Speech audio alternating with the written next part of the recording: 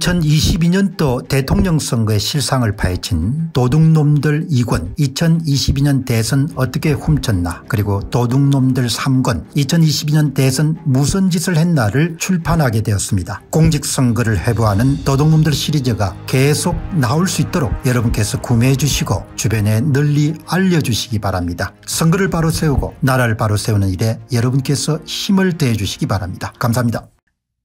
그 이제 여러분들 제가 그러면 뭐 이런 걸 다 종합할 때 사태 진짜 이유가 뭐냐 이야기죠. 이미 여러분 가운데서는 뭐 짐작하셨겠지만 예, 사태 진짜 이유는 선거 부정이 없다고 주장한 것이 때문에 예, 정규재 씨가 그냥 그만두게 된 것 같습니다. 예. 어떻게 보면은 선택을 한 것이 잘못 선택을 한 거죠. 그것이 후원자의 대거 탈락을 낳게 되고 경영상의 압박을 가하게 되고 그 다음에 그것이 이제 초기에 그런 핵심 후원 그룹하고 갈등을 낳게 되고 결국은 본인이 나가는 선으로 그렇게 정리를 한 것 같습니다. 예. 앞에서 이미 그 바른 내용을 좀 말씀을 드렸으니까 여러분이 보셨겠지만 견딜 수 없는 것들이 참 많았습니다. 여러 이슈에 대해서 이처럼 근본적인 충돌이 있을 거로 생각하지 않았습니다. 본인 선거 문제에서 그런 주장을 펼치더라도 다른 의견이라고 사람들이 받아들일 수 있을 거라고 이렇게 받아들였던 것 같습니다. 예. 예를 들어서 선거 문제의 보수 진영이 이렇게 한몰 정규제 주필의 표현을 쓰면 매몰되리라고는 생각하지 못했습니다. 전혀 생각하지 못했습니다. 예. 보수 진영의 많은 사람들이 선거 문제 이렇게 경로해 가지고 자기를 그렇게 심하게 질책하고 비난하고 비판할 거라는 전혀 생각하지 못, 못했다는 거죠. 무엇보다도 자신에게 든든한 후원자였던 페넨마이크의 출발 당시에 핵심 후원자 그룹들이 그런 입장을 가졌기 때문에 함께 갈 수가 없었다. 그러니까 다른 장가지를 다 제쳐놓고 정규제 주필이 그만둔 핵심 이유가 뭐냐 이야기죠. 선거 부정이 없다는 입장을 확고하게 견지했기 때문에 그게 모두 다 출발점이다 이렇게 볼 수 있는 거죠. 나머지는 다 뒤에 따라오는 부산물 by-product라고 볼 수 있는 겁니다. 그 사람이 살아가면서 참 이 판단을 잘해야 되는 사업가도 마찬가지지만 논객들도 민감한 이슈에 대해서 자기 입장을 제대로 이렇게 못 정하면은 수십 년 쌓은 명성이란 것이 그냥 한 칼에 그냥 날아가 버릴 수 있는 거죠. 예. 굉장히 힘들었던 모양입니다.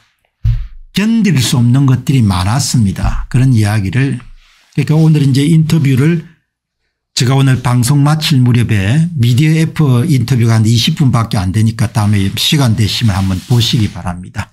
거기에 한번 관심 있게 볼 만한 내용들이 굉장히 많습니다. 대담이기 때문에 대담이기 때문에 뭐 언어적 표현 비언어적 표현 속내 이런 부분들이 잘 드러나는 거죠. 제가 한 20분 정도 쭉 보면서 1시간 20분 안 봤지만 20분 보면서 아 저게 큰 문제였구나. 예. 저게 엄청나게 타격을 줬구나. 예. 그런 생각이 들었던 겁니다. 아주 이렇게 펜앤마이크와 같은 그런 좋은 플랫폼을 만들어내기가 참 쉽지가 않은데 예. 쉽지가 않고 인생에서 그런 기회를 잡기가 어렵죠. 예. 그런 기회를 잡기 어려운데 뭐 그거를 잘 이렇게 했으면은 20년 30년 계속 영향력을 행사할 수 있었을 것 같은데 좀 안타깝네요. 예. 근본적 갈등이 있었습니다. 그리고 이번에 아마 이제 구글 코리아가 수익 금지 조치를 내렸던 부분은 제가 보도를 통해서 봤는데 그게 이제 굉장히 본인한테도 심적인 압박을 줬던 모양입니다. 이제 구글까지도 나를 포위를 하는구나 이렇게 느꼈습니다.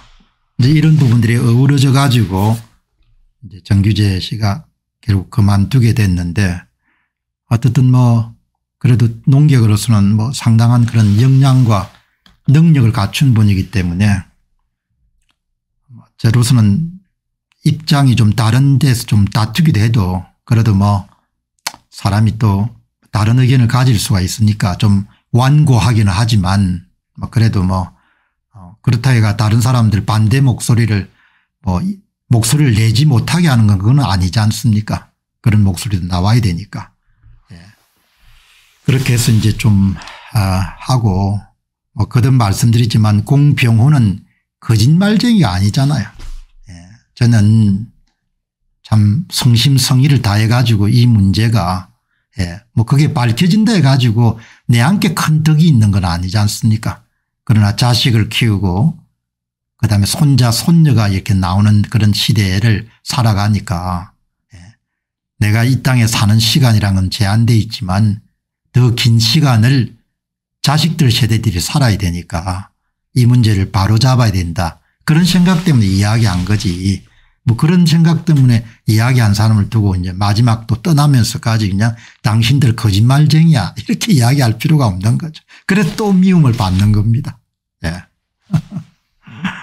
굉장히 과학적이지 않습니까 여러분께서 이제 여기에 도둑놈들 보신 분도 계시겠지만 예. 서양 문장에 머니톡이란 표현이 있지 않습니까 돈이 말한다. 예. 그 여러분 이 도둑놈들의 시리즈는 뭐가 말하는 겁니까 넘블스 톡이지 않습니까 숫자가 말하는 거잖아요. 공병호가 말하는 것이 아니고 제야 전문가가 말하는 것이 아니고 숫자가 말하는 거지 않습니까 그 숫자가 어디 출신입니까 대한민국의 헌법기관인 중앙선거관리위원회가 발표한 후보별 사전투표 득표수와 거기다 당일 투표 득표수를 단 후보별 총 득표 수가 톡 말하는 것을 잘 담아 가지고 하나도 땅에 떨어지지 않도록 담아 가지고 그것을 일반 독자들이 이해할 수 있게끔 그렇게 정리해서 여러분들 결산을 냈지 않습니까 예. 이런 책들이 나와 가지고 벌써 한 뭐 세 달 네 달 됐는데 예, 당신 거짓말쟁이다 이렇게 하면 아집밖에 안 되는 거죠. 그렇게 고집을 피우니까 이제 뭐 중도에 그냥 나갈 수밖에 없는 겁니다. 예. 어떻든 사람은 판단 착오를 할 수 있고 실수를 할 수가 있는데 그때 입장을 뭐 바꾸는 것도 능력이다 이렇게 볼 수 있는 거죠. 예.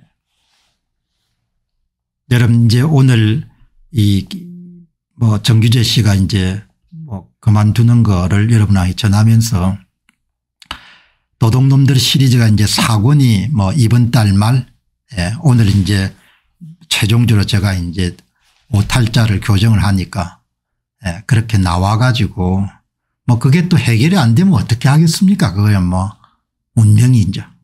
예, 그러나 나는 예, 공은총이 할아버지로서 임무를 다 한 거라는 겁니다. 예, 그 숫자가 어떤 식으로 만들어진 숫자인지 그걸 다 밝힌 거 아닙니까? 예, 아무도 할 수 없는 일을 해낸 거 아닙니까? 예, 나라에서 그 녹을 먹고 예, 그 많은 세금으로 먹고 사는 사람들이 다 침묵하고 나라 덕택에 국비 유학생도 다녀오고 하는 그런 교수님들이 대한민국에 수없이 많을 거 아닙니까? 엘리트의 타락이라는 것은 대한민국 사람들이 큰 비용을 치르게 할 겁니다. 프로페셔널리즘의 타락이란 것은 대한민국 사람들에게 엄청난 비용을 치르도록 하겠죠. 고관 대작들의 타락이라는 것이 대한민국 사람들의 어마어마한 이런 비용을 치르도록 하겠죠. 예. 이제 뭐 다 내려놨고 예.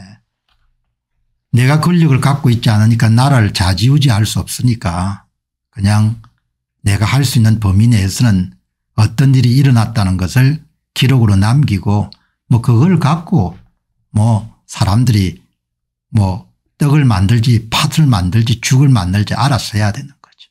예. 그런 면에서 오늘 저는 이제 뭐 이 방송을 또 자기 이름이 나오니까 혹시 정규재 주필이 보면은 공병호처럼 이 나이에 이렇게 이렇게 진심을 갖고 치열하게 최선을 다해 살아낸 사람도 없다 이야기죠.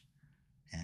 그러니 서로 입장이 다르다 해가지고 4.15가 끝나지 이제 3주년이 돼가는 시점에서 황교안이하고 민경욱이하고 공병호가 다 거짓말쟁이다 이렇게 하면 안 되는 거죠. 음. 마지막 가면서까지 왜 그런 이야기를 하냐 이야기죠. 그렇게 하면 안 된다는 겁니다. 예.